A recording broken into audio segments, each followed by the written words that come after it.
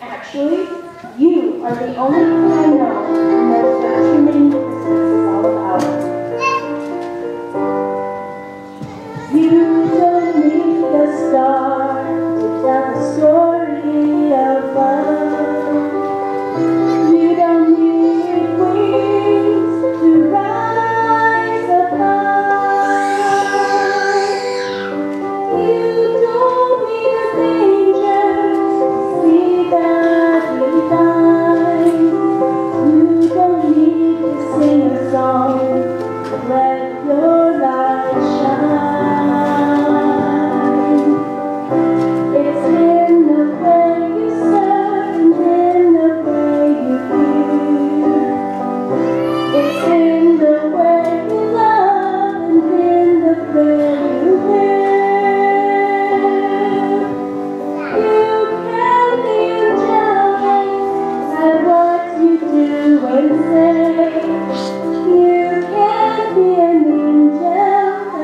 Thank you.